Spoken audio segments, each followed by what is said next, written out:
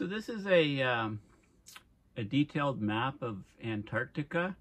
So you've got the, uh, you know, East Antarctic ice sheet over here. You've got the West Antarctic ice sheet. You've got the Antarctic Peninsula.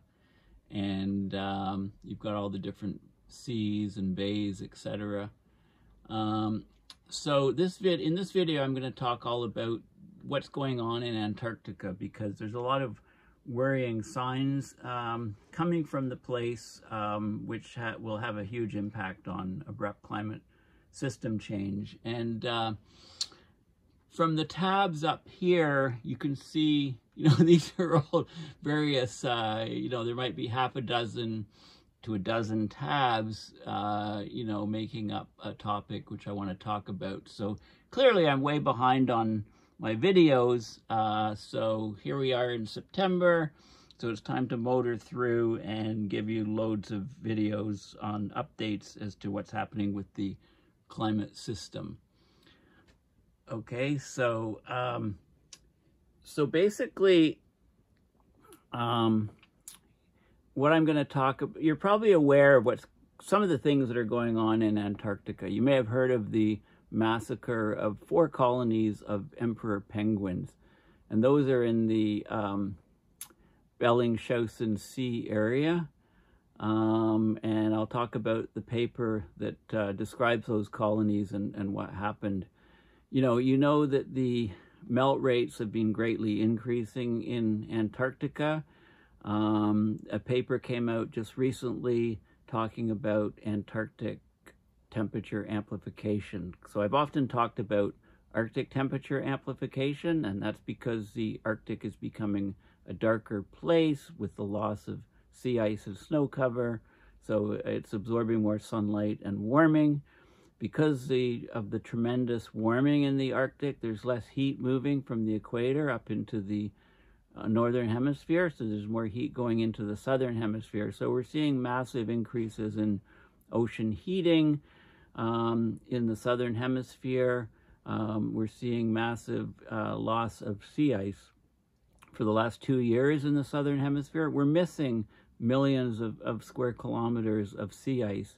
So when we go into our northern hemisphere winter, you know, our boreal uh, northern hemisphere winter, you know, we're heading into the fall now, it's September, you know, we're heading into uh, the summer for Antarctica. The sunlight um, is poking up above the horizon and it's discovering a world in Antarctica that is much, much darker because of the tremendous amount of missing sea ice. So, so this energy will be absorbed and greatly increase the water temperatures around Antarctica. Also, we're seeing a loss of the stratification. Normally you have uh, warm, fresher water on the surface and you have um, or cold fresh water on the surface and you have warm salty water below. Um, the this because the water is warm that makes it more buoyant but the salt is it's very very salty so the net effect is the density is lower. This water is several hundred meters under the surface and that's starting to breach the surface. There's also changes in the southern annular mode the wind circulations around Antarctic and so on. So I'm going to talk about all of those things and uh, you know, one of the net results is that we can expect uh, much larger levels of sea level rise. Okay, so I'll be coming back to this map um, quite often because, um, you know, there's uh, what I'm trying to describe, you know, what's going on in specific regions, etc. Okay, so let's have a look here at this Guardian article which just came out uh, September 7th. So it just came out yesterday. Um, and Antarctic warming is much faster than models predicted in deeply concerning sign for sea levels. So there, in this study, peer-reviewed scientific study that just came out, there's direct evidence of polar amplification on Antarctica. Okay, and this has, of course, huge implications for ice loss, not just sea ice loss, but ice loss on the continent as well. And here, here's a penguin sitting on an ice floe. Um, okay, so Antarctica is likely warming at almost twice the rate of the rest of the world. Okay, um, so we know that the Arctic is warming. They used to say two to three times. It's actually, you know, a paper um, last year said four times for most areas. There is a seasonal variation in that rate of warming, uh, but basically it's polar temperature amplification uh, because the poles are becoming uh, darker places with the loss of sea ice, loss of snow cover, and this is causing greatly increased absorption of solar radiation in the respective summers in the two different hemispheres. So, you know, the Arctic is, I've been saying for years, it's five to eight times faster than the global average, while Antarctica is warming at almost twice the rate of the rest of the world. It's faster than climate change models are predicting, of course. The models can't keep up, and it has huge implications for global sea level rise, loss, and loss of uh, ice on Antarctica. So, in this new paper that just was just published, scientists analyzed 78 different Antarctic ice cores to recreate temperatures. So in the ice cores, um, you can measure, um, you, you can basically date the cores based on, for example, things like volcanic eruptions, uh, you know, um, isotopes, and you can recreate the temperatures from the oxygen isotopes, and you can, re, you know, recreate the greenhouse gases at the time from, from bubbles that are trapped in the ice, etc. So, you know, um, so we can go back uh, 100,000 years um, in Greenland ice cores and almost a million years in Antarctic ice cores. But these Antarctic ice cores that are looked at are only to look going back a thousand years for this study. So 78 cores, a thousand years going going back. So the warming across the continent now is outside what you would expect from natural variability or natural swings. You know, West Antarctic is um, a region, and, and if I go back to here, so this is a region here, West Antarctic ice sheet, the Antarctic Peninsula. So West Antarctic um, there's about five meters of sea level rise um, from the ice, uh, if all the ice melted on West Antarctic, and Greenland about seven meters, and totally about 70 to 80 meters. So there's some from mountainous uh, glaciers, but the vast bulk of it is from the East Antarctic ice sheet. Okay, so West Antarctic is particularly vulnerable to warming um, with an ice sheet uh, that could push up global sea level rise by several meters if it collapsed. So five meters basically for West Antarctic. Um, and the warming there is twice the rate suggested by the computer models. So we've known about this polar uh, amplification or polar temperature amplification for a long time. It's often called Arctic temperature amplification or Arctic amplification, but we've also got this phenomena that we see and have talked about for years in the Arctic. This is also occurring in Antarctica. So the study was done, a French group did the study, so they found direct evidence from the ice cores that Antarctica is undergoing polar amplification. Um, and um, this is significant warming in Antarctica far beyond natural variability. And, and they've got the natural variability for the last thousand years. So Antarctica is huge, right? It's the size of the continental US and Mexico combined, but it's sparse, the data is sparse there. There's only 23 permanent weather stations. Only three of those are away from the coast. The other ones are all on the coast. Okay, so there's not a whole lot of data. But so they looked at 78 Antarctic ice cores that hold the record of temperature and then compared those temperatures to climate models. Okay, so this research was published in the journal Nature Climate Change. There is a paywall for this paper, and I haven't um, gotten the um, actual peer-reviewed paper. I've got the results from it um, when I get the actual paper, I'll probably do a separate video just on the paper. But the results are Antarctica is warming at a rate of between 0.22 Celsius and 0.32 Celsius per decade. And that compares to the 0.18 degrees Celsius per decade predicted by climate models. This is the global average, right? up until 2010. And if you recall James Hansen's papers, he said that's increased 50 to 100%. So after 2010, the rate of climb is 0.27 Celsius to 0.36 Celsius. Okay, so, and that's sort of the rate that, that it, we're seeing in Antarctica. So it's still much faster than the global average. Now, some of the warming is due to a change in the pattern of winds, or it's masked by it. So the southern annular mode is going more and more positive, and that's actually that actually should decrease temperatures um, in in Antarctica. So Antarctica is the warming is overcoming the changes from that southern annular mode positive um, phase. Okay and that's due to global heating and also part of partly from the loss of ozone over the continent.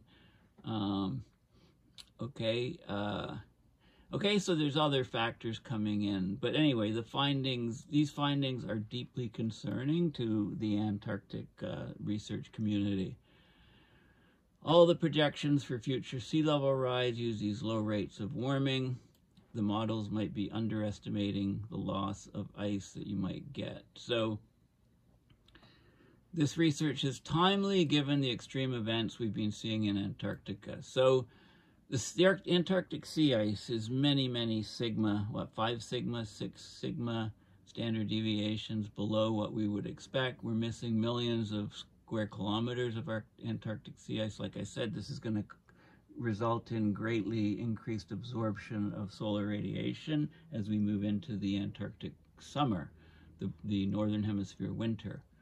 Um, sci scientists are not sure why that's happening. It's been at record low levels over the last two years. Some are suggesting global heating could now be affecting the region.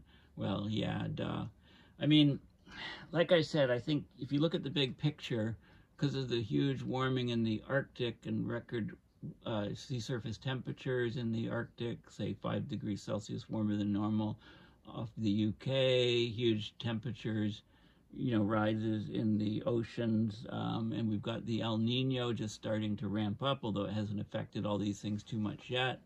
Um, so there's the, the northern hemisphere is warming like crazy. So that heat, so less heat goes there from the equator, more heat goes to Antarctica and I think that's one of the biggest reasons why we're seeing all these effects. There's like a seesaw between the two poles, if you like. Because of the lack of sea, height, sea ice in the Bellingshausen um, Sea, um, then we had a massive uh, kill off of emperor penguin chicks late in 2022 in four different col there's five colonies in that region. Four of them got pretty much wiped out and i'll show you the paper um, that, that studies that. Um, there's also been record high temperatures. Um, there's a paper which i'll also show you. There's a weather station at the south pole um, and there's record high temperatures occurring there. Now Antarct antarctica's climate's always had large natural swings but this study shows that the warming is detectable. Um, it's due to anthropogenic climate change and anthropogenic polar amplification. So, you know, this is very important findings to in, in terms of considering future changes to Antarctic sea ice, terrestrial and marine ecosystems, and sea level rise.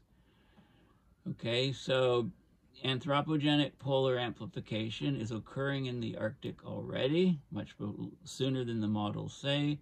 So future warming will likely be greater than currently projected by climate. So sea level rises will have to be, you know, upped and upped and upped in terms of what's expected. And I've talked a lot about sea level rise in, in my previous previous videos over the last number of years. Okay, so, you know, further loss of sea ice from warming Antarctica. Of course, that ocean warming occurs. that changes the global ocean circulation, changes the marine ecosystems. So ocean warming is already melting protective ice shelves in West Antarctica, causing the West Antarctic ice sheet to retreat. Uh, greater warming could lead to more melting of coastal ice shelves um, that protect glaciers. So glaciers, glaciers, the the advance rate to the coast will definitely speed up when we lose coastal ice shelves. It's like taking the cork out of the bottle, and we've seen this a lot in Greenland. Um, there's already, you know, we we've we're also seeing it on the Antarctic Peninsula. Um, it's going to become a more widespread occurrence around Antarctica. Loss of sea ice, loss of coastal ice shelves, and um, then, uh, you know, much greater ice melt for the ice that is sitting on the land. Okay, so those are the key factors. And let's have a look at some of the details. So, um, again, this is the map here. So, you know, the greatest warming is happening in these regions, but there is widespread warming of Antarctica. So if you look at climate reanalyzer, just Google climate reanalyzer and look at the two meter temperature anomaly. Um, if you look at today's weather maps and you can see the outline of Antarctica is here and you can see the temperature anomalies. So the Antarctic Peninsula is huge warming, you know, and lots of warming on the West Antarctic ice sheet. Um, there's actually cool some cooling on the East Antarctic ice sheet. So there's these blobs of hot temp of, of, of very very warm sea sur uh, uh, sea, uh, air temperature two meter air temperature anomalies. Okay, um, next to very very cold anomalies. And if you look at this um, depiction, you can see all the warming here. And this is the real kicker here. So this is the uh, this is the latest temperature anomalies as of September 7th to uh, today, 20 or yesterday, 2023. Um, this is relative to the 1979 uh, to 2000 climatology for the specific day of the year. And you can see, you know, the Arctic is much warmer has a very high temperature anomaly. Antarctica is even higher. The whole southern hemisphere is much warmer. The northern hemisphere is even warmer. And the, the global temperature um, is 0.82 degrees Celsius for the world, larger than 1979 to 2000 temperatures for today. And the tropics is even warmer. Okay, so this is very key data. I mean, Climate Reanalyzer is an excellent site, so just Google Climate Reanalyzer and have a look. Um, on Earth Null School, you can see, I just wanted to show you, um, this is sea surface temperature anomalies, and you can see 3.3 uh, degrees Celsius as I move around here, um, 3 degrees, 3.4. This whole region you know, is very, very warm. So we're probably heading into, uh, you know, it looks like we're probably going to head into a super El Nino. But as James Hansen says, most of the effects are seen in the second year after it initiates. So it's still just been initiating. Um, and, uh, you know, it started initiating over the, over the sort of mid to late summer and it's just getting going. So we're going to have a doozy this year, it looks like. Um, this, like I said, is sea surface temperature anomalies. You can see, uh, you know, the, the very, very warm temperatures mostly up. So the northern hemisphere is, is extremely warm, right, all the way across. Extremely warm. So there's less heat, heat moving there. From the equator, most of the heat is going to the southern hemisphere, and that includes heat from the El Nino as well. So just keep that in mind. Um, this is just showing some of the surface winds and you can see the cyclonic activity here. Hurricane Lee went up to category five in like a day or something. You know, Bermuda and who knows where it's going to go exactly. It's coming this way. It's category five. It'll probably stay category five, you know, over the next, for most of the next week. So anyway, that's worth uh, keeping an eye on. So getting back to the Antarctica, something weird's going on. Search for answers as Antarctic sea ice stays at historic lows. Okay, so this is like, these are shocking numbers for the lack of sea ice in Antarctica. And there's going to be huge knock-on effects. So, you know, this is an article from the end of July. It's just as bad now. Um, we're missing, you know, two and a half, almost two and a half million square kilometers of ice, right? That's ice that would reflect sunlight. You know, Antarctic's being in their winter, in darkness. So the lack of ice, uh, you know, when the sun comes up and all that energy is absorbed in the open oceans instead of being reflected by the ice, which is now missing, we're going to get a huge ramping up of of temperature, and I've talked about that in some previous videos. Okay, so um, this is just some anecdotal stuff about, you know, Will Hobbs, ice scientist. Uh, you know, every day he'd get the latest data from the government satellite showing how much sea ice is floating around Antarctica. And, you know, he said unprecedented is a word that gets bandied around, bandied around a lot, but it doesn't really get to just how shocking this is. So he's a sea ice scientist at the University of Tasmania. It's very much outside our understanding of this system. So, you know, we hit record lows, uh, you know, um, in uh, February when the ice should be, uh, you know, hit record lows. Um, there's never been less ice since satellites started tracking the region's sea ice in 1979. Okay, so so here's uh, this is some of the sea ice extent. Um, the okay, this is the red is July 26, 2023, and then the black is the average from the 30-year climatological average, and you can see, you know, wherever the red line is inside, then there's huge amounts of ice missing. So look at this area in particular because this is I'll get back to this when I talk about those the death of all those baby penguin chicks. Um, there's a there's a couple wiggle plots of the ice and then here we are here and we stayed really low. Um, and so you know there, there's there's there's huge problems. Um, one of the ideas is the topsy-turvy theory the upper layers of the ocean are stratified. Uh, you have a cooler, less saltier layer on top, right? It's less salty because you get a lot of meltwater from the ice. Doesn't have salt in it. And a warmer and denser layer about 150 to 300 meters below. And with the increase of the southern annular mode, you can get more stirring up of the water. So maybe that warmer, denser water is coming up from below and wiping out the, the sea ice okay? Uh, but there's also, you know, huge knock-on effects, not just for the krill, fish, penguins, seals, and other animals that rely on it.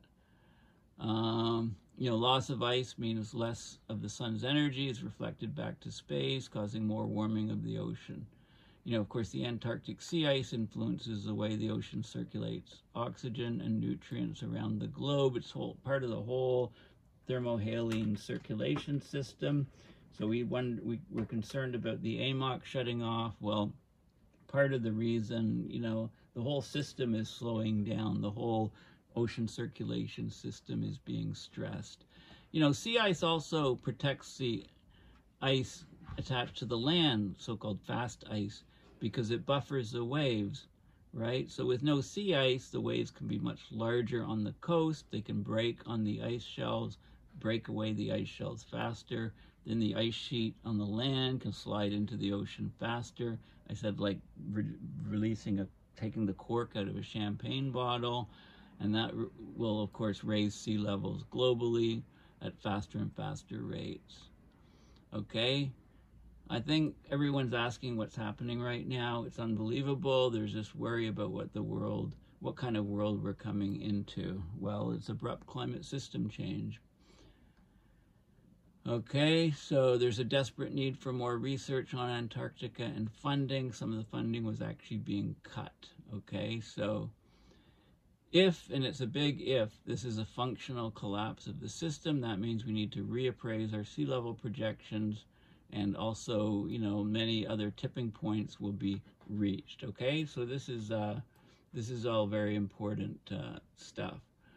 Okay, if you go to Arctic Sea Ice News and Analysis, they always do a good analysis. This is the National Snow and Ice Data Center.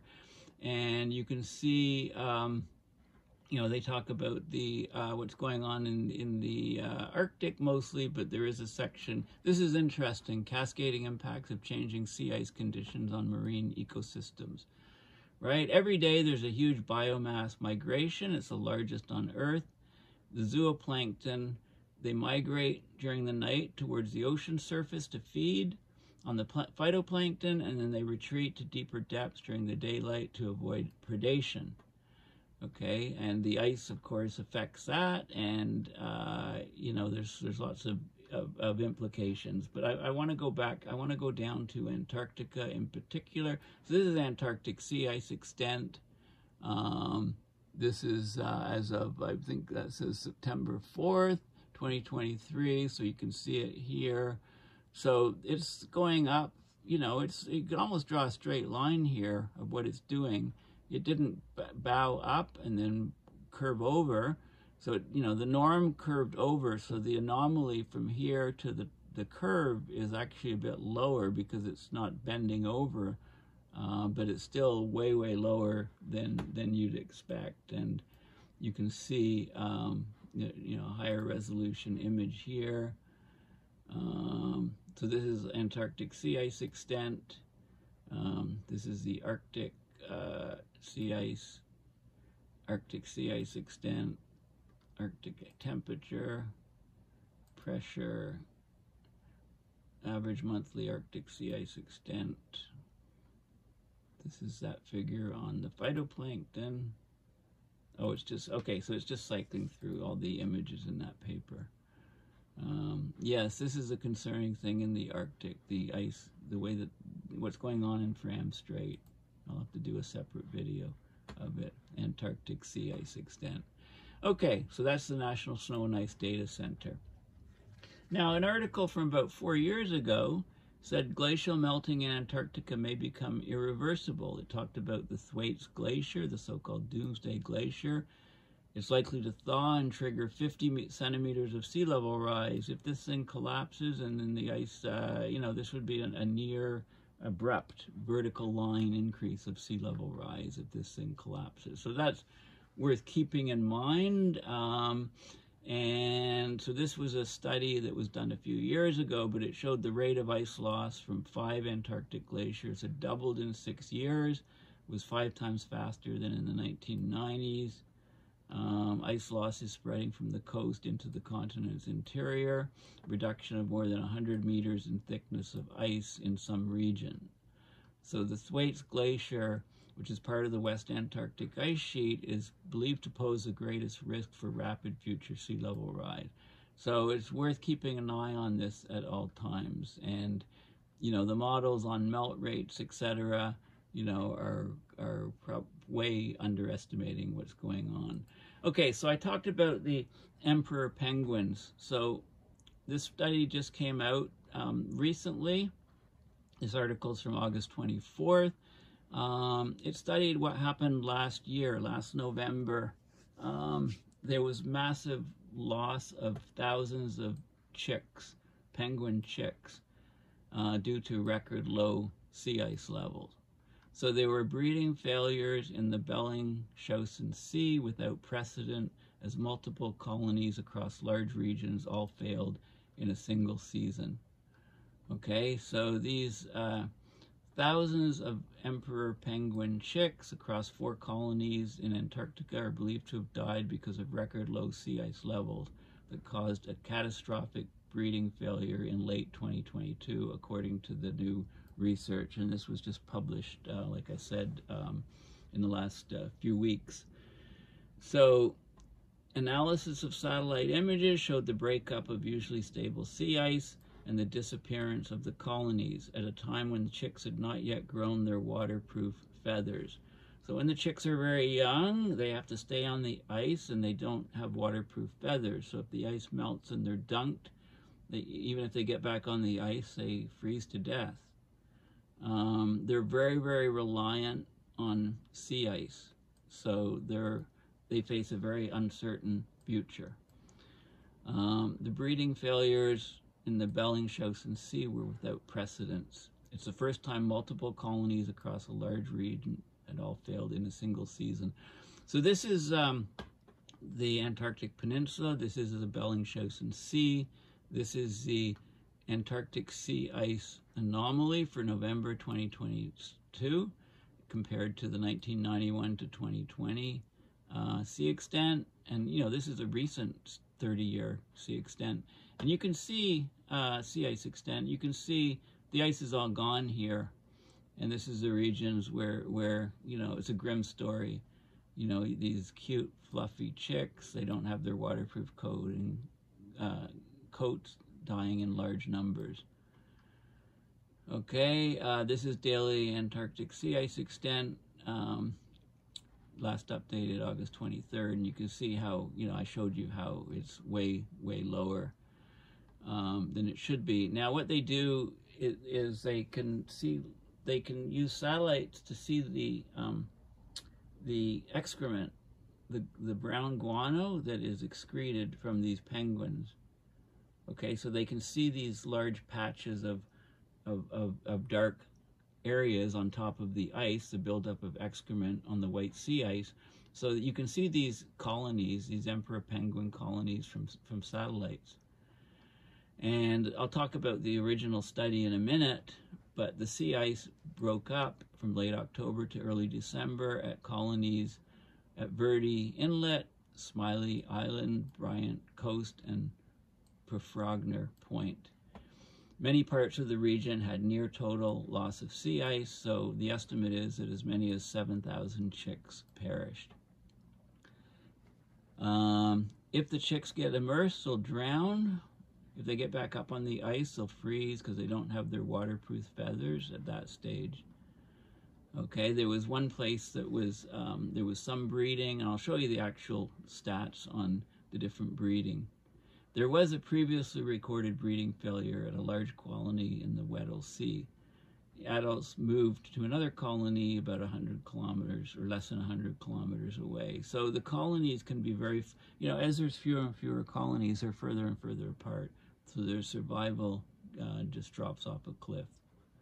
There was a 1,500 kilometer region in Lent that lost almost all its sea ice we have no real idea what happens if there's no ice. Well, we do know, they just die. About 30% of the known 62 emperor penguin colonies in Antarctica have been affected by partial or total sea ice loss since 2018. Well, there's four less at just in just from last year, late last year. These emperor penguins, they're featured in the animated film, the Happy Feet films, it's it's unusual. They've not come under pressure from hunting, fishing, or loss of habitat up to now. But with the with the sea ice collapsing, they're collapsing as well. Global heating is the main long-term threat. Projections by 2100 show 90% of colonies could be so small that they're essentially extinct. And here's a female scientist, Dr. Barbara Wienecke, senior research scientist at the Australian Antarctic Division. She's made dozens of visits to emperor penguin colonies. There's no doubt that thousands have died. By October, chicks form these creches, which is like little nests, while both their parents are out catching fish, but they're nowhere near being waterproof.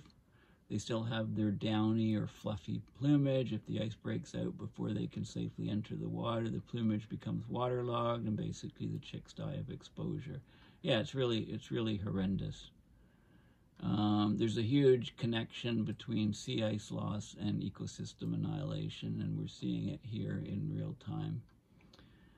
Okay, so here's a, here's a couple definitions. The creche it's a nursery where babies and young children are cared for during the working day.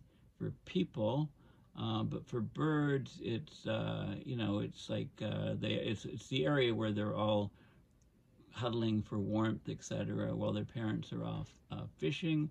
And then the other term I need to tell you about is the fledge. Um, its fledging is where the young bird develops wing feathers that are large enough for flight, or in the case of the penguins that are waterproof.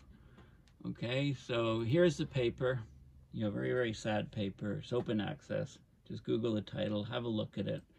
You can download it as a PDF or just read it, um, you know, in this format. Um, record low 2022 Antarctic sea ice led to catastrophic breeding failure of emperor penguins. Okay, so let's just have a look at the uh, the, the photos, um, the images.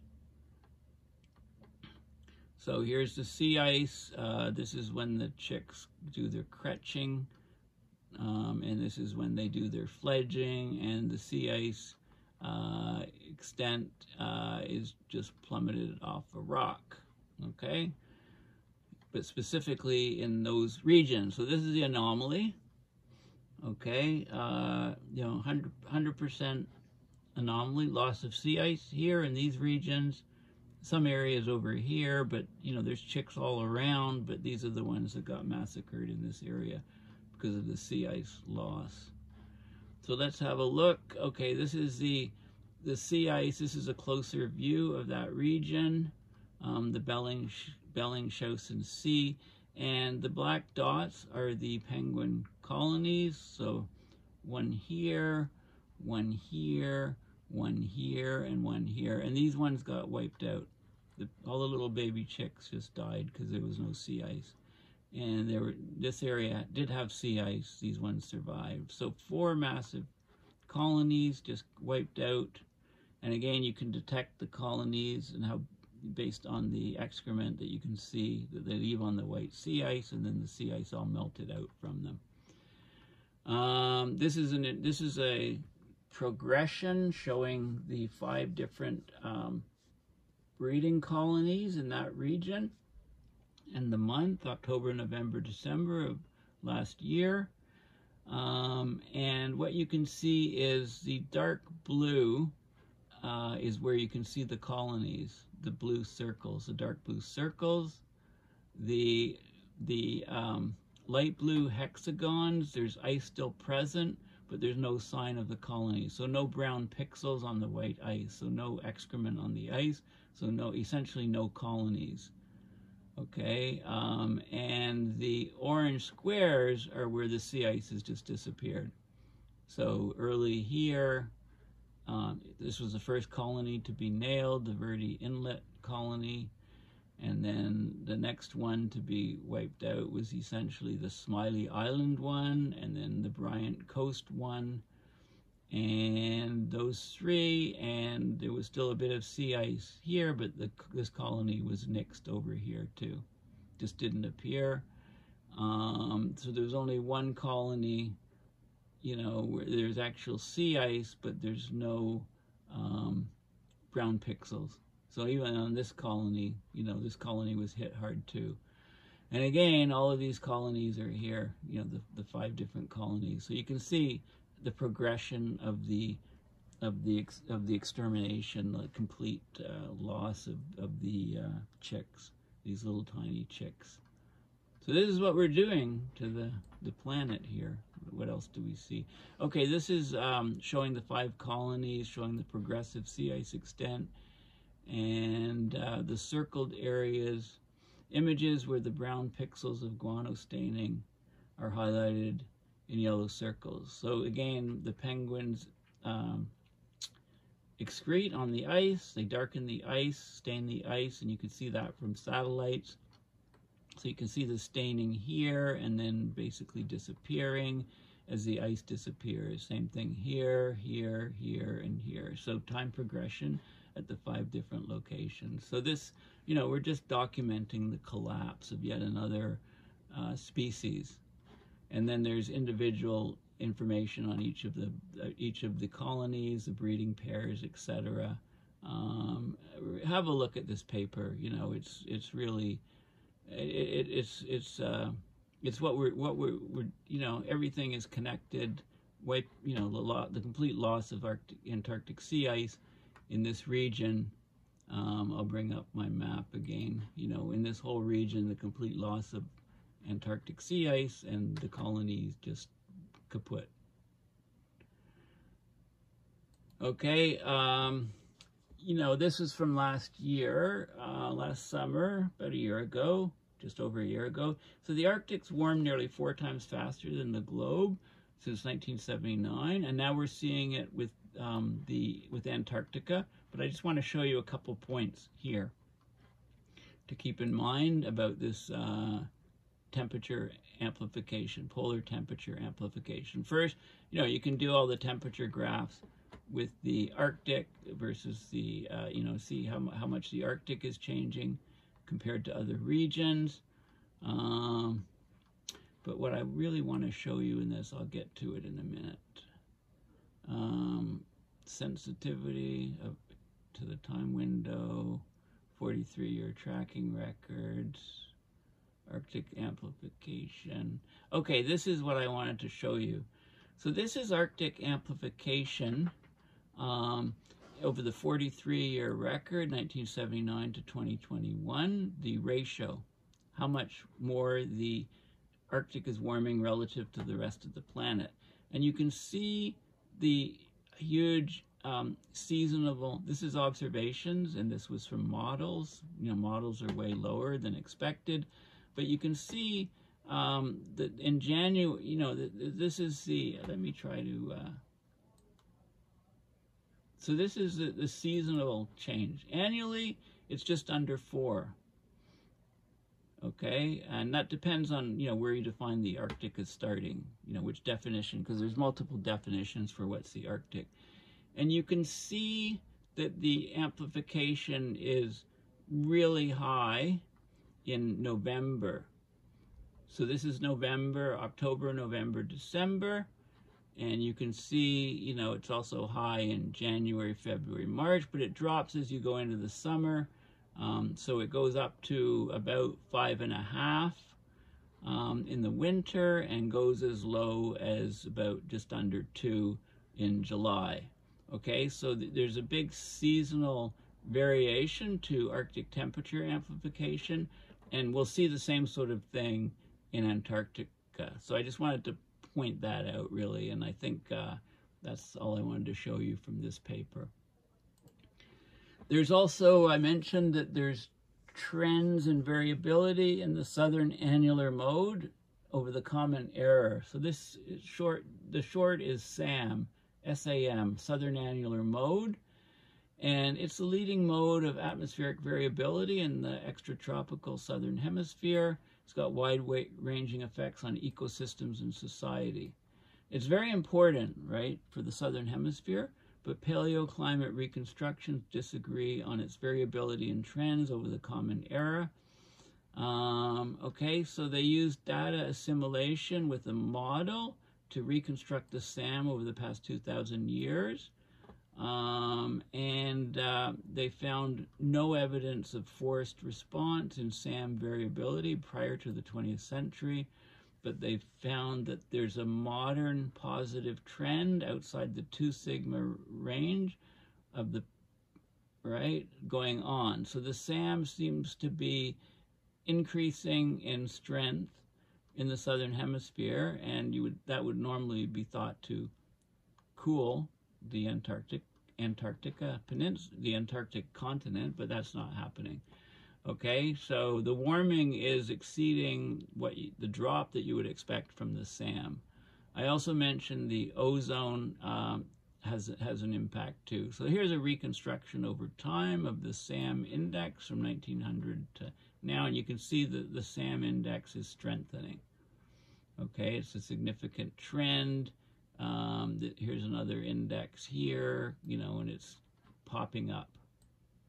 Okay, and that affects climate in the, in the southern hemisphere, in Australia, et cetera, et cetera. There's lots of other data here. This is a reconstructed comparison going back to the year 1000. Okay, so you can see there is variability of the SAM, Um, but lately, you know, we're we're exceeding that variability, basically. Okay, so the winds are changing, and that's also having effects on sea ice, etc., etc.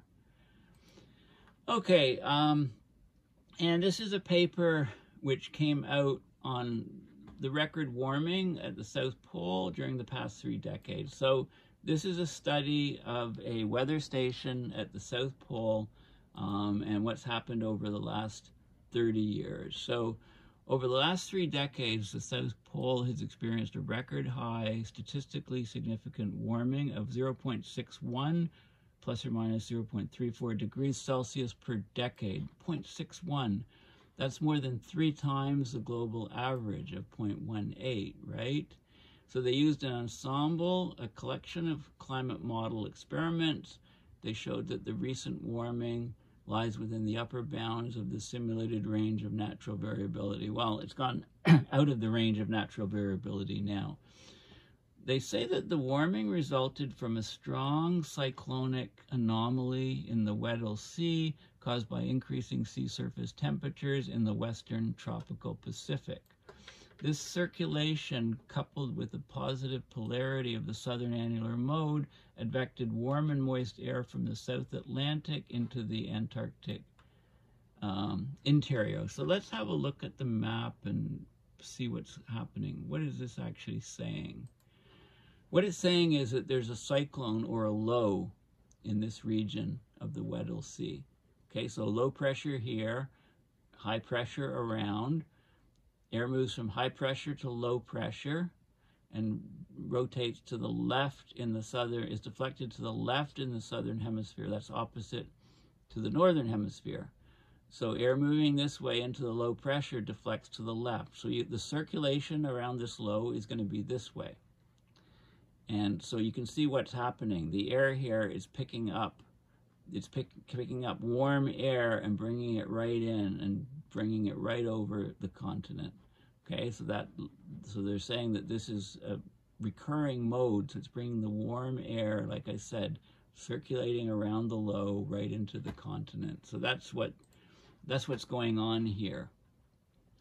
These results underscore the intimate linkage of interior Antarctic climate to tropical variability, so variability of, of higher latitudes. Um, atmospheric internal variability can induce extreme regional climate change over the Antarctic interior. Okay, so let's have a look at some of the figures. So this is this is very very um, so circulation changes in the Weddell Sea, which I just pointed out, are causing these record warming at the South Pole, um, and you can see.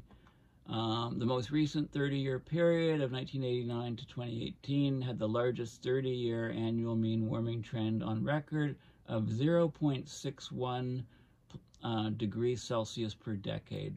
0.61, that's huge, right? Three times the global average rate. So the South Pole is warming at three times the global average rate. We've got Antarctica temperature amplification, the same sort of polar amplification that is occurring. And of course, we know how that affects the jet stream in the northern hemisphere, so it'll be doing the same thing in the southern hemisphere, although that signal is is becoming needs will will become much clearer. I mean, it's not as it's not as noticeable for a couple of reasons. One is that the um, the circulation, the jet streams are stronger in that region because we've got higher temperature contrast between the very cold Antarctica and the um, and the Australia sort of temperatures, um, and also the uh, the Antarctic temperature amplification. It's just getting going. It's not as it's not as uh, pronounced as the Arctic one.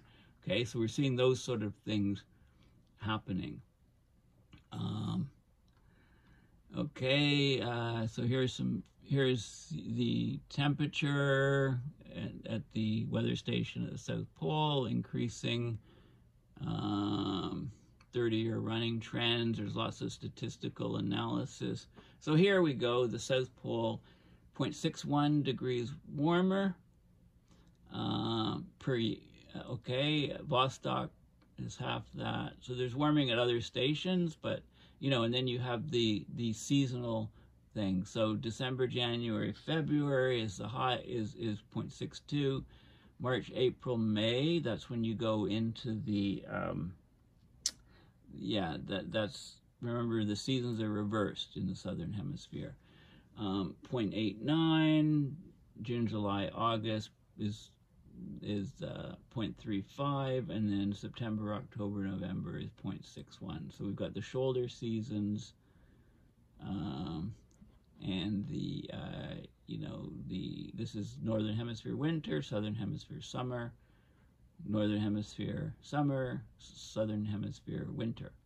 Okay, so you can see the seasonal variation, and I showed you the plot of, from the Arctic temperature amplification paper of the seasonal variation then. And then there's lots of figures on wind directions and etc., you know, stuff like that. But I don't think I'll go into all those details. It talks about the effect of the SAM. There's probably mention of the ozone as well, you know, those sort of things. So there's lots of factors, but the net result, let's just go back to the beginning here. So these are the key factors that the Antarctic warming is much faster than models predicted. Okay, we're seeing uh, strong Antarctic uh, temperature amplification, similar to what we what we've known about and, and have observed in the Arctic.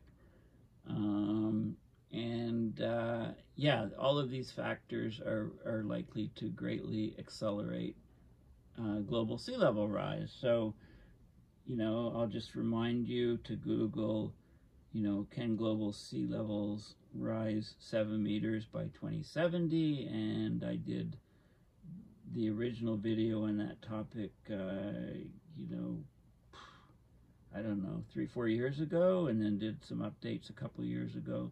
So, you know, back of the envelope calculations uh, show that, uh, you know, that, that's sort of my, you know, gut feeling for, for what's going to happen. We're going to have massive sea level rise.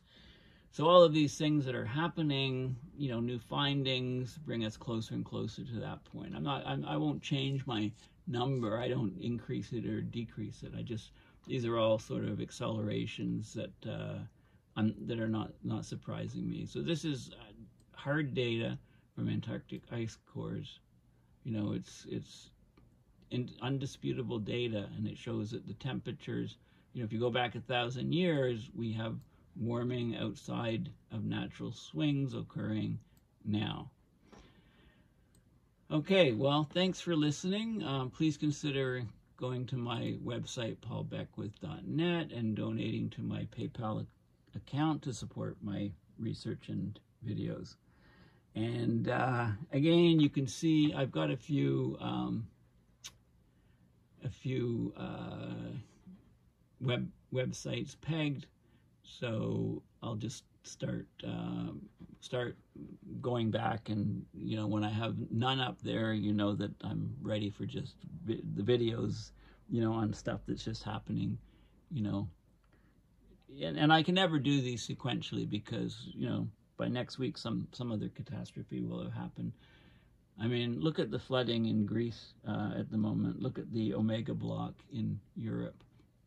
Um, the uh, torrential rains and flooding in many other parts of the world, heat waves in other parts, and you know, there's always uh, stuff just about every day that I could do videos on. So make sure in the comments that, you know, if you think I'm missing something or need to revisit something, let me know. And, uh, you know, if you go to my YouTube channel, um, where is the, right here, you know, you can just do a, this is not my YouTube channel. Okay, I, I should show you this. Um, this is my YouTube channel here you can do a search um, for uh, you know particular specific topics and you know I might be due for covering things which I covered a year or so ago and need to revisit also keep in mind that I do videos for the climate emergency forum so five days ago this video was uh, just uploaded on the AMOC Amok um, where I talk about that in great detail with Dale. And uh, ferocious floods. I think I was in that one too. Yeah, that was 12 days ago. And the Pyrocene, I think I was in that one too. So I've been in a number. Uh, well, these are climate emergency forum. This sorry, this wasn't Dale. This is with uh, Regina and Peter Carter. Okay, so I'm in all of these videos for the Climate Emergency Forum with Peter and Regina. Um, okay, so, you know, here, here's the people involved. There's myself, there's Peter Carter, um, and uh, these are some channels that are featured and recommended, Regina. And I, the Facing Future ones, which I are these ones. So group facing future, I'm a guest in a number of these videos. So I was in this one talking about the widening gyre, hurricanes. You know, um, we're in hurricane season. We have some hurricanes to really be concerned about, like Hurricane Lee is the latest one. Uh, I was talking with Peter Carter and Dale, um, Earth Ablaze. Um, and this is a great one, Peter Wadhams uh, talking about glaciers. Uh, right, so these are these are well worth uh, you know having a look at too. The, these videos, so I appear you know fairly often in these videos as well. So anyway, thanks for um, watching. Um, like I said, please uh, consider donating or setting up a monthly donation to support my research and videos um, on PayPal. I also, you can also just Google my name on uh, Patreon and uh, set up something that way if, if you prefer. Um, okay, well, thanks uh, again uh, for listening. And, you know, we, we can't ignore the Southern Hemisphere. There's huge amounts of carbon sequestered in the ocean by the oceans in the Southern Hemisphere, right? Uh, huge, huge amounts of carbon. So, you know, as the oceans warm and become stratified, if we lose that carbon sink in the southern hemisphere, then the greenhouse gas levels are going to skyrocket even more in the atmosphere around the globe. And, you know, the, the tipping points affecting the circulation of the planet, whether they be the atmosphere, the jet streams, were the oceans, the ocean currents, the AMOC, the thermohaline circulation. Those are tipping points that I call the mother of all tipping points because those affect the entire planet, uh, you know, pretty, pretty significantly. So anyway, uh, thanks again and bye for now.